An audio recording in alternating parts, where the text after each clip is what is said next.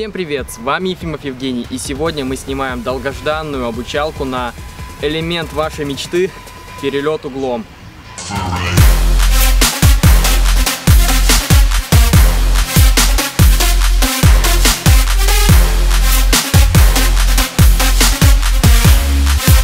Очень много людей писали в комментариях, что хотят увидеть обучалку именно на этот элемент. И это свершилось. Так что, друзья, спасибо за поддержку. Вы просили, мы снимаем. В этом видео я объясню три различных способа выполнения перелета углом, а также подводящие упражнения, с помощью которых вы сможете выучить этот красивый, зрелищный, динамичный элемент. Многие атлеты делают перелет углом с двух верхних хватов. Это не всегда удобно, потому что в двух верхних хватах ваши руки будут соскальзывать с турника. Самый оптимальный удобный вариант это делать перелет углом в разнохвате. Если ноги поворачиваются влево на перелете углом, то обязательно берем левую руку нижним хватом, как вот в моем случае мое исполнение. Если ваши вы в другую сторону на перелете углом, то соответственно берем правую руку нижним хватом. Это самый легкий и оптимальный способ изучения. Назовем его способ номер один. Второй способ исполнения элемента перелет углом – это делать его со стойки, то есть с луны. Когда вы заходите в луну, вы резко меняете хваты на разнохват и перелетаете. Там у вас много инерции и сделать довольно-таки просто сам элемент, но сложно удержаться вот в этой луне, да это довольно-таки еще и страшно. Поэтому более сложный вариант, вариант номер два. И переходим к третьему варианту исполнения. Мой любимый вариант, я его вставляю в комбинации, это очень удобно. Когда вы делаете оборот вперед, отталкивайтесь хватаетесь разнохват, вот скрестный, скрестный разнохват, и перелетаете турник. Я объяснил вам три варианта исполнения этого элемента. Конечно же, вариантов существует намного больше, и ограничивает это все только ваша фантазия. Поэтому придумывайте что-то новое, это всегда интересно. И поехали к изучению. Для изучения подойдет нам лучше всего первый вариант, потому что он менее опасный, и его изучать можно будет постепенно по стадиям, по мере усложнения. А все остальные варианты вы сможете выучить потом, когда вы от, уже научитесь сам элемент перелет углом. Мы разобрали, по какой технике мы будем изучать перелет углом. Это с обычной раскачки, перелетаем, беремся разными хватами. Теперь самое важное, начнем подводящие упражнения. И первое, что вы должны выучить, первое подводящее упражнение, это хорошая раскачка в разных хватах. Смотрим. Так, я буду перелетать влево, поэтому левая рука, нижний хват, правая, вверх. И согнутый круг беру вымах вверх. Вот такой кач вы должны выучить. Обязательно одна рука нижний хват, другая верхний. Потому что когда вы начнете лететь назад, нижний хват не даст вам слететь. Если будут две руки верхним, вы можете вот так просто сорваться. Это не очень удобно. Так, первое. Учим вылет. Еще раз.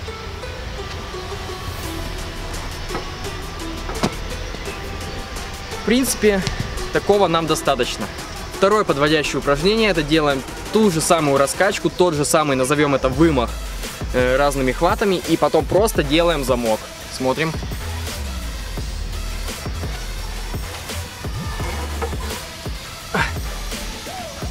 Важно, что когда вы взлетаете вверх, вам нужно с нижнего поменять на верхний.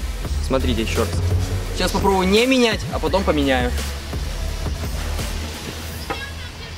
Можно делать и так, но это не очень удобно. А когда вы будете вылетать еще и менять хват, это как раз вас будет готовить к тому, что в будущем вы еще и ноги туда будете проносить.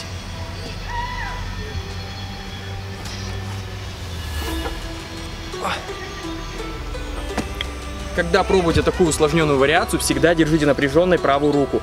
Рука, которая хват не меняет, которая верхним хватом должна быть очень жестко напряжена. И при этом сустав плечевой не должен быть расслаблен. Всегда тянем себя вниз. Вылетаем, тянем вот так руку, ставим вторую. Вот такое подводящее упражнение. И переходим далее. Переходим к следующему подводящему упражнению. По счету уже третье.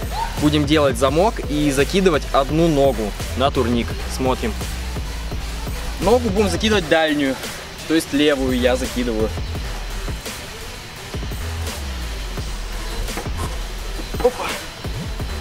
Закидываем ее пока что сбоку. Это первая степень, первый уровень сложности.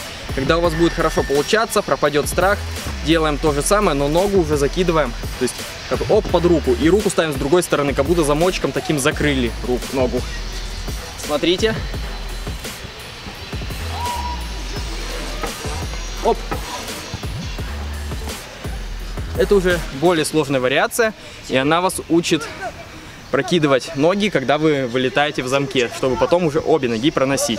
Следующее упражнение, это мы уже проносим не одну ногу, а сразу две. Вначале, как и в предыдущем подводящем упражнении, пробуем заносить сбоку, а потом, когда у вас будет хорошо получаться, заносим их под рукой и руку ставим. Показываю.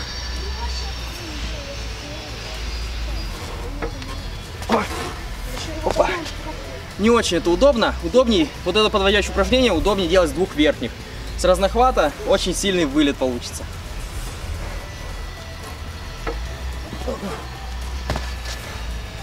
Аккуратнее с приземлением, потому что упражнение уже такое не очень приятное, но когда вы будете закидывать ноги под руку, будет намного удобнее и приятнее.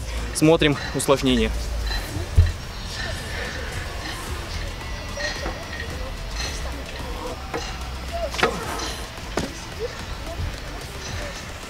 Это уже очень крутое упражнение, его даже можно использовать как отдельный элемент.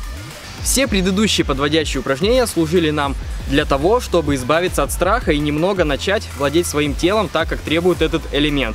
А сейчас мы уже приступаем к изучению самого непосредственного элемента и делаем предыдущее упражнение, где мы закидывали ноги, обе ноги и ставили руку только делаем мах сильнее и уже пытаемся не на подколенки залететь, поставив ноги, а просто вылететь и сесть на вашу пятую точку, либо максимально приближенно к ней. Это уже довольно-таки сложный вариант исполнения, и он очень близко к перелету углом. Возможно, я сейчас не сделаю, даже я сейчас не буду этот дубль как-то резать, смотрите.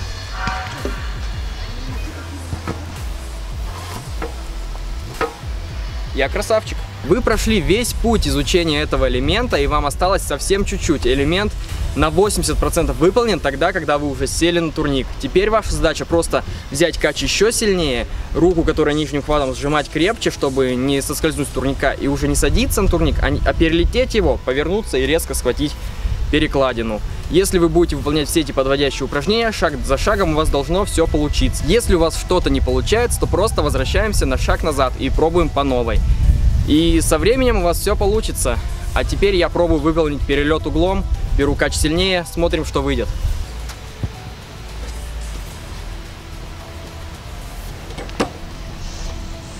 Ну вот у вас получился уже перелет углом, возможно не получился, поэтому специально для вас советы и подсказки по изучению.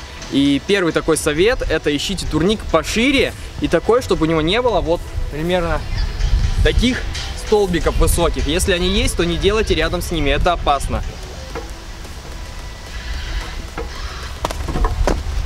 И второй очень-очень важный совет, это когда вы делаете перелет углом, всегда держите руку, которая верхним хватом, в моем случае это правая, напряженной и прямой. Если вы ее согнете, вы стукнетесь вашей э, пятой точкой об турник. Это будет неприятно, у вас будут синяки и вообще нам этого не нужно. Поэтому рука прямая, сустав по максимуму толкаем от себя и на прямой руке пролетаем над турником. Тогда вы не будете его задевать и все сделаете. Всем спасибо за просмотр. С вами был Ефимов Евгений. Ставьте лайки, подписывайтесь на канал. Жду от вас много крутых комментариев и сразу же выйдет следующая обучалка на X-вылет, либо лач зацеп, либо горизонт. Голосуйте, что сделать.